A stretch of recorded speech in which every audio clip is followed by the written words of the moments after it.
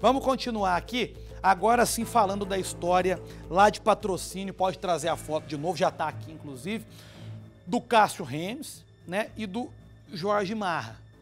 Na quinta-feira passada, lá em patrocínio, o Cássio fazia uma denúncia, ele que era pré-candidato a vereador, já foi até presidente da Câmara, vereador por dois mandatos na cidade. Ele fazia um protesto na frente de uma obra, gravado ao vivo, aliás, no Facebook, quando o Jorge chegou e partiu para cima dele, tomou o celular. Pode até colocar o vídeo pra gente, por favor. Pode colocar e deixar o áudio. Pode deixar o áudio. Quantos de vocês tiveram, tiveram a condição de ter esse, essa, esse asfaltamento aqui? Ninguém, nenhum de vocês aqui, ó. Feito uma pavimentação, entendeu? Aqui, tá aqui agora o secretário querendo chegar aqui para me agredir. Ó, entendeu? Ó como ele vai para cima. Não, você tá querendo... Telefone. Parece desesperado, né? E depois o Cássio pula na frente da caminhonete para tentar impedir que ele vá embora para poder recuperar o celular que o secretário, segundo ele, tinha pegado ali. Aí o Cássio vai até a Secretaria de Obras, ah lá, para tirar satisfação e buscar o celular. O pessoal segura ele, a turma do deixa disso separa, mas logo o Jorge aparece e entra na caminhonete, ó. Ele pega alguma coisa dentro da caminhonete e depois, pouco depois, senta a bala no outro, olha lá. Ele sai atirando. O secretário de obras, o Cássio, atira no candidato e depois foge na caminhonete. Olha de novo o momento dos tiros, ó. Olha como é que isso aconteceu. E aí, o, o Cássio morreu. A vítima morreu. E, e, depois disseram até que o Jorge tinha se matado, só que a polícia acreditava que era para ajudar ele a fugir e ele de fato fugiu. De fato fugiu e ontem ele se entregou à polícia e é essa a novidade que nós temos desse caso. É isso que nós vamos ver agora na reportagem. O que, que ele alegou? Como foi o depoimento? Põe no Cidade. O secretário prestou esclarecimentos na delegacia por quase duas horas.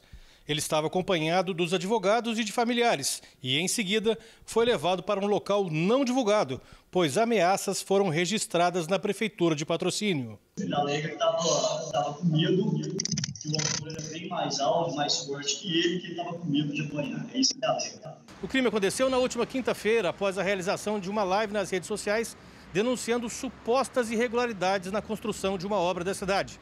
A vítima, Cássio Remes, foi surpreendido pelo até então secretário de obras, Jorge Marra, que tomou o celular das mãos de um assessor. Não, você tá. Não quero meu telefone. Pessoas que estavam no local registraram quando o ex-presidente da Câmara se jogou em frente à caminhonete do secretário para tentar recuperar o aparelho. Sem sucesso, Cássio vai até a Secretaria de Obras, onde foi baleado. As imagens da câmera de segurança do prédio mostram o momento em que ele chega logo atrás de Jorge. Mas o secretário exonerado caminha rapidamente até a caminhonete, pega a arma e dispara. Cássio sai correndo em direção à rua, mas Jorge vai atrás e dispara outras vezes. Logo em seguida, ele entra na caminhonete e foge. No dia seguinte ao assassinato de Cássio, enquanto a família velava o corpo do ex-presidente da Câmara dos Vereadores de Patrocínio, a polícia encontrou a caminhonete de Jorge e uma arma que pode ter sido usada no crime. O veículo estava na casa do ex-prefeito de Perdizes, cidade a cerca de 60 quilômetros de patrocínio está preso preventivamente. O local da prisão dele ainda vai ser é, mantido em sigilo até que a gente consiga colocar ele no local prisional onde ele não corra risco de morte.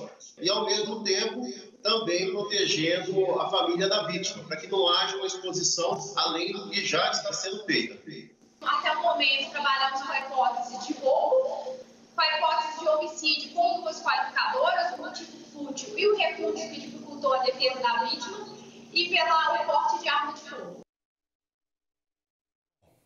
Eu quero pedir para colocar o vídeo de novo, porque eu quero te perguntar uma coisa. Ele fala que estava com medo de apanhar porque o outro era muito maior e mais forte que ele, por isso pegou a arma.